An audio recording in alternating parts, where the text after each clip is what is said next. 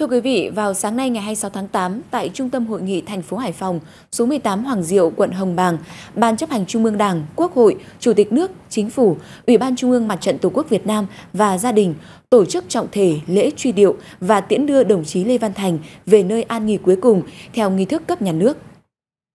Trước đó, từ ngày 24 tháng 8, lễ viếng Phó Thủ tướng Chính phủ Lê Văn Thành được tổ chức trang trọng. Tổng Bí thư Nguyễn Phú Trọng, các đồng chí nguyên Tổng Bí thư, nguyên Chủ tịch Quốc hội, nguyên Chủ tịch nước, nguyên Phó Chủ tịch nước đã gửi vòng hoa viếng Phó Thủ tướng Lê Văn Thành. Đoàn đại biểu Ban chấp hành Trung ương Đảng do Ủy viên Bộ Chính trị, Thường trực Ban Bí thư, Trưởng Ban Tổ chức Trung ương Trương Thị Mai dẫn đầu vào viếng đồng chí Lê Văn Thành và chia buồn cùng gia quyến. Các đồng chí lãnh đạo, nguyên lãnh đạo Đảng, Nhà nước tham gia đoàn viếng, đoàn Quốc hội do Chủ tịch Quốc hội Vương Đình Huệ dẫn đầu, đoàn Chủ tịch nước do Chủ tịch nước Võ Văn Thưởng dẫn đầu, đoàn Chính phủ do Thủ tướng Phạm Minh Chính dẫn đầu, đoàn Ủy ban Trung ương Mặt trận Tổ quốc Việt Nam do Chủ tịch Ủy ban Trung ương Mặt trận Tổ quốc Việt Nam Đỗ Văn Chiến dẫn đầu đã vào viếng Phó Thủ tướng Lê Văn Thành và chia buồn cùng gia quyến. Các đoàn đại biểu Quân ủy Trung ương, Bộ Quốc phòng, Đảng ủy Công an Trung ương, Bộ Công an, Văn phòng Trung ương Đảng, Văn phòng Chủ tịch nước, Văn phòng Chính phủ, các bộ ban ngành trung ương và địa phương, các tổ chức quốc tế đã đến viếng Phó Thủ tướng Lê Văn Thành và chia buồn cùng gia quyến. Đúng 7 giờ, lễ truy điệu Phó Thủ tướng Chính phủ Lê Văn Thành bắt đầu. Dự lễ truy điệu có Thủ tướng Chính phủ Phạm Minh Chính, nguyên Chủ tịch nước Nguyễn Xuân Phúc, các Phó Thủ tướng Chính phủ Lê Minh Khái, Trần Hồng Hà, Trần Lưu Quang, Phó Chủ tịch Quốc hội Nguyễn Đức Hải, các đồng chí lãnh đạo, nguyên lãnh đạo Đảng, Nhà nước, đại diện các bộ, ban ngành trung ương và địa phương, các tổ chức quốc tế, nhân dân thành phố Hải Phòng đã đến tiễn đưa Phó Thủ tướng Lê Văn Thành. Đọc lời điếu tại lễ truy điệu Phó Thủ tướng Lê Văn Thành, Bí thư Trung ương Đảng, Phó Thủ tướng Chính phủ Lê Minh Khái xúc động cho biết, cả cuộc đời học tập cống hiến phục vụ cho sự nghiệp cách mạng của Đảng, của dân tộc và công cuộc xây dựng bảo vệ Tổ quốc, dù ở cương vị công tác nào, đồng chí Lê Văn Thành luôn là tấm gương sáng về bản lĩnh chính trị, tinh thần tiên phong đổi mới, dám nghĩ, dám làm, dám chịu trách nhiệm, tận tụy phụng sự Tổ quốc phục vụ nhân dân. Đồng chí được tổ chức tin tưởng, đồng nghiệp yêu mến kính trọng.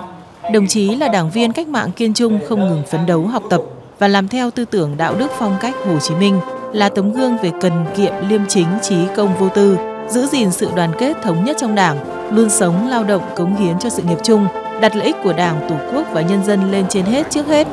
Là cán bộ lãnh đạo cấp cao của Đảng và Nhà nước, đồng chí Lê Văn Thành luôn mang hết trí tuệ, nhiệt huyết đóng góp nhiều ý kiến quan trọng vào những vấn đề lớn của đất nước. Với cương vị là bí thư thành ủy Hải Phòng, đồng chí đã để lại rất nhiều dấu ấn với những quyết sách giúp thành phố vươn lên phát triển mạnh mẽ, năng động như chương trình xây dựng 100 cây cầu, hoàn thành hệ thống giao thông kết nối xây dựng các khu chung cư mới, xây dựng mỗi phường một công viên cây xanh, xây dựng các xã nông thôn mới kiểu mẫu. Nhiều chính sách an sinh xã hội nặng nghĩa vẹn tình, được nhân dân đồng tình ủng hộ như xây dựng cải tạo chung cư cũ, hỗ trợ xi măng xây dựng đường giao thông, xây sửa nhà ở cho gia đình có công và hộ nghèo, nâng mức trợ cấp xã hội.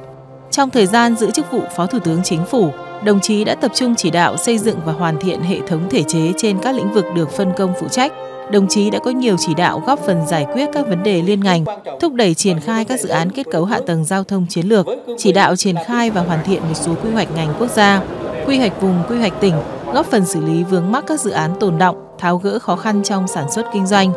Đồng chí đã thực hiện tốt trách nhiệm của thành viên chính phủ, đóng góp quan trọng vào nhiệm vụ chỉ đạo điều hành của chính phủ. Các quyết sách của đồng chí luôn hướng đến phục vụ quyền và lợi ích hợp pháp chính đáng của nhân dân.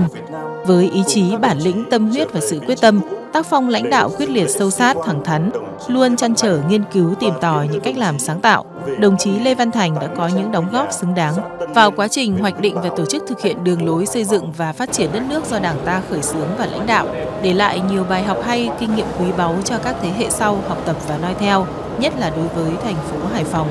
Trong công việc, đồng chí Lê Văn Thành là một cán bộ lãnh đạo trung thành tận tụy, bản lĩnh sáng tạo được đồng chí nhân dân quý trọng, bạn bè quốc tế yêu mến, là người chân tình, gần gũi, thân ái, hòa đồng, chia sẻ. Trong gia đình, đồng chí là người chồng, người cha, người ông nhân hậu, mẫu mực đức độ, giàu đức hy sinh và lòng nhân ái. Với 61 năm tuổi đời, 35 năm công tác, đồng chí Lê Văn Thành đã cống hiến trọn đời cho sự nghiệp xây dựng và bảo vệ Tổ quốc. Với những công lao, cống hiến và thành tích xuất sắc, đồng chí được Đảng, Nhà nước tặng thưởng huân chương lao động hạng 3, huân chương lao động hạng nhì, danh hiệu chiến sĩ thi đua toàn quốc và nhiều phần thưởng cao quý khác.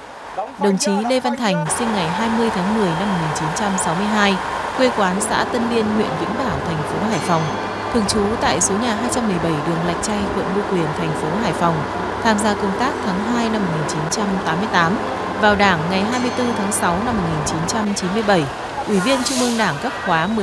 12-13, Ủy viên Ban Cán sự Đảng Chính phủ, Phó Thủ tướng Chính phủ, Nguyên Bí thư Thành ủy, Chủ tịch Hội đồng Nhân dân thành phố Hải Phòng, đại biểu Quốc hội khóa 12. Lễ an táng Phó Thủ tướng Lê Văn Thành được tổ chức vào sáng cùng ngày tại Nghĩa Trang quê nhà xã Tân Liên, huyện Vĩnh Bảo, thành phố Hải Phòng.